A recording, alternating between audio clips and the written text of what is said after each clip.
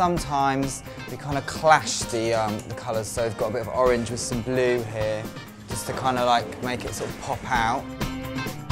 So it's basically just about mixing up all the different colours and bringing that all sort of together with other colours, but also trying to give lots of sort of different suggestions.